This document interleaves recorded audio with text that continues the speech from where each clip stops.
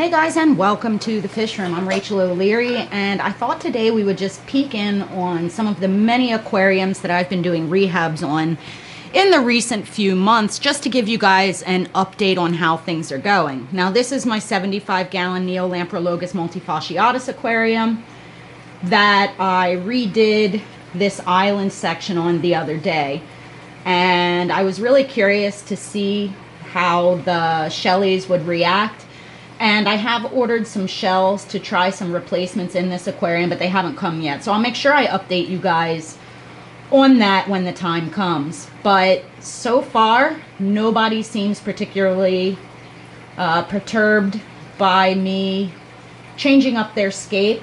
Um, it seems as though they've just managed to colonize the entire section that I opened up. So that's exactly what I had hoped would happen. Um, I'm hoping as well that they will start excavating some of the sand in here.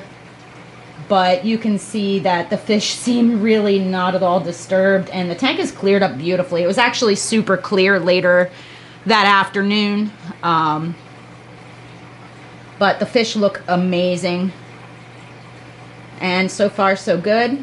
And I will uh, make a video when I get the new shells telling you what I've chosen and showing you if they like them or not. Now, the biggest obstacle is going to be actually removing the old shells without removing fry um, because these guys do breed all the time. Um, and again, I just, I don't like how these look anymore, so it's, the time has come. Um, let's take a look at the 55 gallon impulsive aquascape just above it. This tank has done insanely well. You can see how much growth I have, especially in this Sagittaria subulata. Um, it has really filled in and has gotten a little bit of height, which I wasn't, I'm not super thrilled about, but it, everything looks really good. The Hygrophila siamensis is going gangbusters and looks beautiful. All the crypts have stayed really healthy. The ferns look great. Um, I did add a couple of pleco caves over here for the long-finned um, lemon blue eye Ancistrus I put in here. Uh, I don't see a whole lot of them, but I have been target feeding them, so I'm hoping we'll have fry sooner rather than later. Uh, I also sold 50 of the fish in this aquarium, and it still looks full, and that's because they are breeding me out of house and home. So everything's doing really, really, really well in this aquarium. In fact, um, at some point soon, I'm going to have to trim that that hygrophila in the background there to make it a more a more pleasing shape. But for now, I'm just letting it grow in. Now, if you guys watched yesterday's video, I showed how I added all these botanicals to the shrimp aquarium. And that was actually done almost a week ago. Um, this aquarium is due for a water change, but you can see that it has remained very clear because of the way I prepped those botanicals. And I'm really, really happy with it. Um, the shrimp love it. They graze on those botanicals constantly. And it's looking really good. If you guys want to try any of these, remember you have a month to order at Tannin to get 10% off with code Rachel10 at checkout. And I really hope that especially you shrimp keepers out there will give some of these botanicals a try. I really think it makes a big difference. On that note, let's take a look in the Wild Bee Aquarium. This is the 75 gallon Wild Bee Aquarium, and this is one that just really doesn't video well. It is really pretty in person. Um, and my favorite part is just how much the shrimp absolutely love, love, love grazing on all these surfaces. On almost every botanical we look at, you see a shrimp or two or three really just picking away at those surfaces. And it, it just makes me feel like I'm doing something right. Um, historically in this aquarium, it, it looks kind of empty. Um, because it's a 75 gallon that has shrimp in it. But since I've added all these botanicals, the shrimp are just so much more visible and I'm really enjoying the change um, in this aquarium because there are literally just probably hundreds of these shrimp in this aquarium and they are just loving, loving all these grazing surfaces.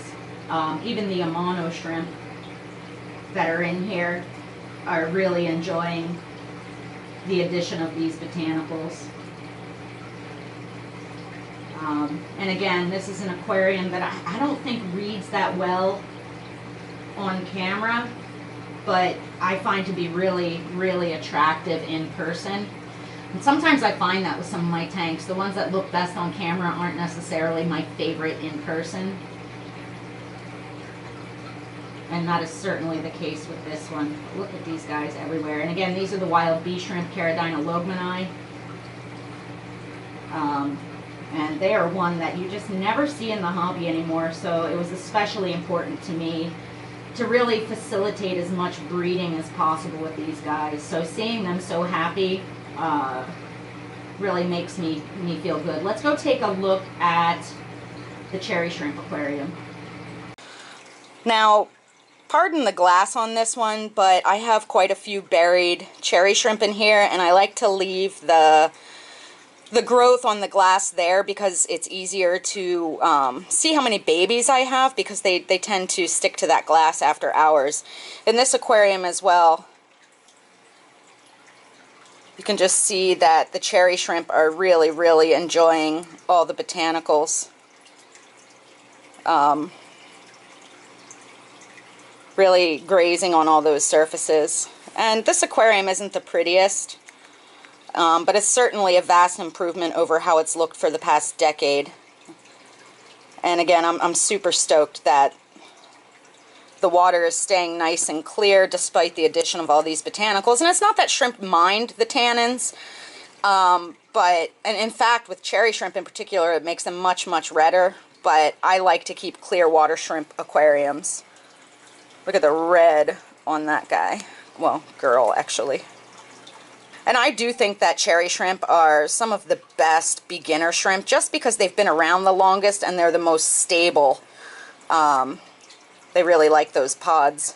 There's a whole bunch on that, that pod there. Let's go take a look at the honeycomb cat redo. This is the 55 gallon aquarium full of Centromochlus um, perugiae or the honeycomb woodcat that we put some potted plants in the other week. Um, and you can see that they have just exploded with growth now that they're in substrate and out of those pet store pots. Um, there's Rotala and more Hygrophila and then whatever that is in the back corner. Um, and the fish in here seem really, really happy. Um, they're just so much fun to keep. I, I, can't tell you how much I enjoy sitting and watching these fish as they zoom all over the place in this aquarium. And since I've added all this driftwood um, they've really become even more outgoing than they were. And this is historically a fish that is extremely shy. So it's been very, very rewarding to see how outgoing they are. Um, now, right now, there's a pellet of food in there, which is why you see so many of them. But generally speaking, throughout the day, there's always a few that are very, very visible. You can see just how round some of these fish are getting. I'm really hoping that that means we're going to be seeing some breeding behavior soon because I'm super excited to share that with you guys. Um, and getting rid of the substrate in this aquarium has made it much easier to, to maintain. So I still have lots and lots of upgrades planned for various aquariums around the fish room. You guys know I want to redo the retirement community. Um, and actually it's supposed to get pretty warm this week, so if my, my water source outside is not frozen, I may try and get that sand rinsed uh, so that I can get started on that aquarium, but it might just have to wait till spring. Um, the plecos in the blacktail killer tank spawned two more times, so I'm either going to have to just resign myself to the fact that I'm not going to be able to do that aquarium or I'm going to have to risk some of the babies or just be super careful. Uh, let me know down in the comments if you think I should just leave that tank be for now or if I should go for it. Uh, and then I do want to get a guest aquascaper in for that last 20 long on top. Um, and soon this spring, once, once the weather breaks, um, I'm going to need to break down the 150 to move it. And it really makes me very sad, but at the same time, I'm kind of excited to restructure the fish room and do some really great things to help not only my production value, but just the viewing experience in here as well as streamline the workload because it is an awful lot maintaining all of this. Um, again, I have a few events coming up in the next uh, couple months. I have the Big Fish Deal February 15th to 17th in Gaithersburg, Maryland. I'll be doing a live demo on how to build an Apistogramma breeding aquarium. Um, and that will be utilizing a bunch of the botanicals as well. And I'll also be moderating a speaker panel. Then March 30th to 31st, I believe, we have Aquashella in Dallas, Texas. Um, I will be lecturing at the North Jersey Aquarium Society in May. Uh, I believe it's the 18th, and I'll be giving two lectures at that club meeting. Um, and I think that's pretty much it for right now. I might be forgetting some, and I do keep all that stuff up to date on my events page on my website. Um, also on my website, I am going to start blogging again. So if you've never checked it out, you may want to. I have, um, I'll be blogging under my news heading there. And I hope to just sort of give you some thoughts behind some of the aquariums that I'm building, uh, some of the fish that I'm keeping, and just some more unique content there. Now, I am disappointed to say that I still have not gotten my play button notification from YouTube, nor have I gotten the membership status. So as soon as those things happen, I will be sharing them with you. As always, thank you guys for your continued support. Make sure you're subscribed with that notification bell on because I have so many things planned for you and so many changes will be coming to the fish room this year.